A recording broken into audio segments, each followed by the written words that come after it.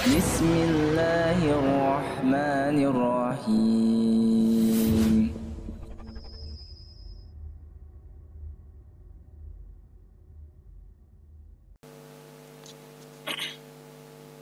Bismillahirrahmanirrahim Assalamualaikum warahmatullahi wabarakatuh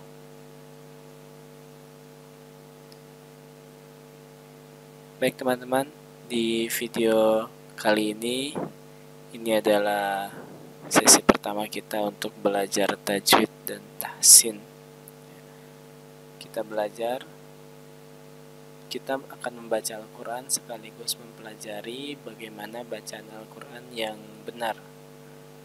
Maka kita akan coba baca bersama-sama sekaligus kita pelajari bagaimana cara membaca dari bacaan kita yang benar. Baik, tidak usah berlama-lama, kita mulai dari surah Al-Fatihah. أعوذ بالله من الشيطان الرجيم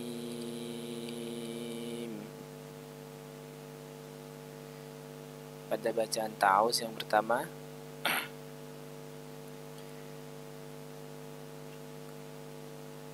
Huruf A dengan A harus dibaca dengan suara yang berbeda.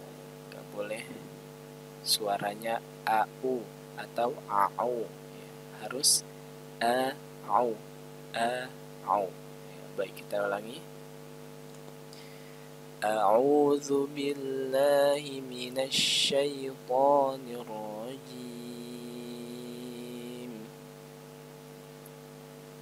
Kita lanjut ke ayat yang pertama Bismillahirrahmanirrahim Bismillahirrahmanirrahim. Baik. Sebelum kita melanjutkan, nah di sini ada warna-warnanya ya yang menunjukkan bacaan apa itu dan harus digimanakan. Nah, maka ro di sini ini ro-nya tebal. Jadi Bismillahirrahmanirrahim roh nanti kalau ada roh tipis ir ir kalau yang tebal or or seperti itu Bismillahirrahmanirrahim kita lanjut Alhamdulillahi Rabbil Alamin Baik. Lafzul jalalah di sini harusnya ini berharokat uh, dua harokat ya, pakainya alif berdiri. Karena ini mushafnya mushaf Madinah, jadi biasanya alifnya tidak disertai dengan alif berdiri karena sudah mafhum di Arab jika lafzul jalalah Allahnya itu dua harokat. Maka kita juga membacanya dengan keumuman. Keumuman hukum dalam membaca lafzul jalalah. Lillahi lillahi gitu. Baik kita ulangi. Alhamdulillahi rabbil alamin.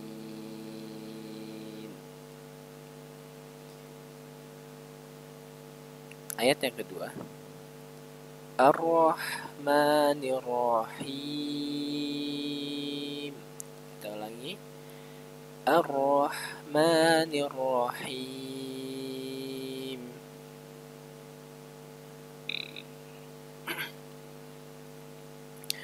Roknya masih rok yang tebal, haknya tipis, hak hak. Ar-Rah Ma-nya dua harokat. Nir Nir masuk ke huruf ro Roknya juga tebal. Him Nah ini uh, dibaca enam harokatnya. Mat arid lis sukun kita baca enam harokat. Sama seperti ujung di sini juga enam harokat him di sini juga enam harokatnya saya akan ulangi Ar-Rahmanir-Rahim. Kita lanjut. Maliki yaumiddin. Ma-nya dibaca dua harokat. Liki, ki. Nah, ini perhati kita masuk ke huruf kaf, kaf, ka, ka, ka. Kaf itu kita ucapkan dengan ada nafasnya. Maliki, maliki, bukan maliki, maliki maliki. Nah itu nggak ada nafasnya. Tapi karena dia punya punya sifat hames jadi ada suara angin yang keluar dari uh, lisan kita. Maliki yaumiddin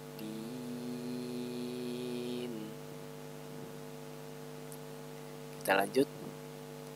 Iyyaka na'budu wa iyyaka nasta'in.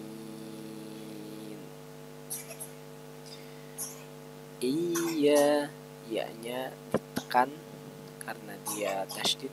Iyyaka na'innya dibaca lebih dalam. Iyyaka na'budu wa iyyaka nasta'in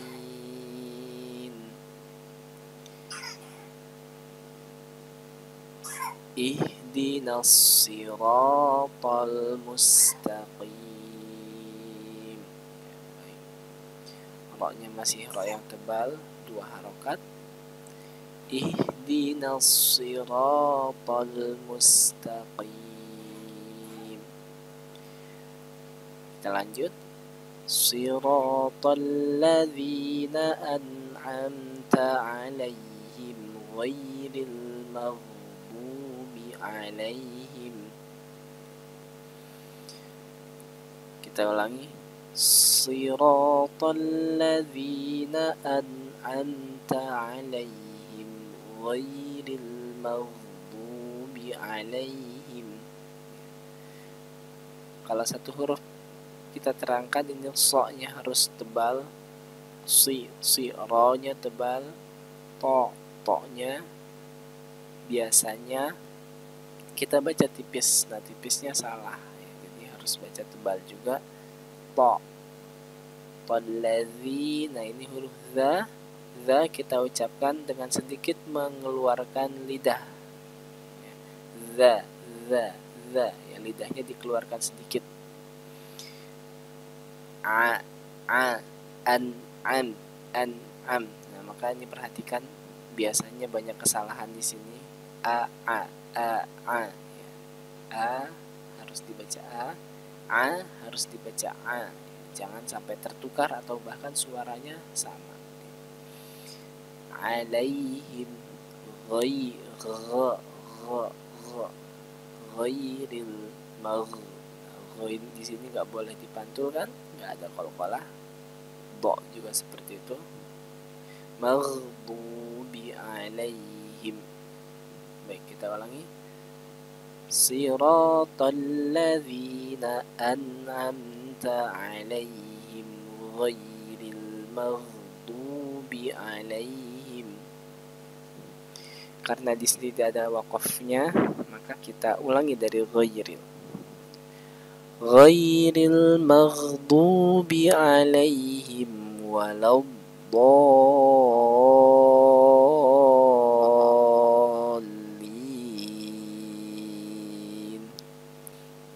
maka ini bo itu nggak boleh dipendekkan. Ya harus benar-benar kita panjangkan harokat. Kita ulangi. ghairil maghdubi alaihim waladdallin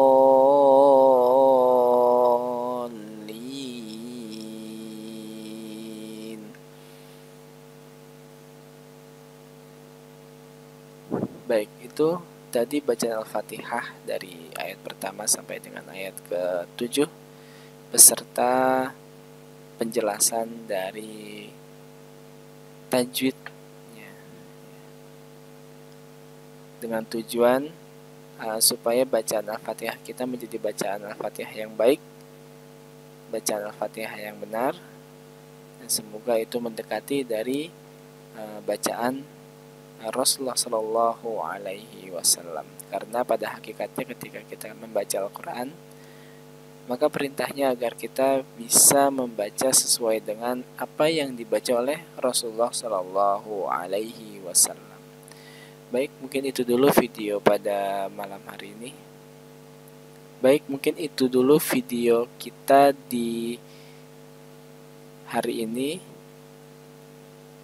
Mudah-mudahan bisa kita lanjutkan di video selanjutnya. Jika ada manfaatnya, silakan di like, subscribe, dan disebarkan ke orang-orang yang kalian cintai supaya manfaatnya bisa terasa lebih luas.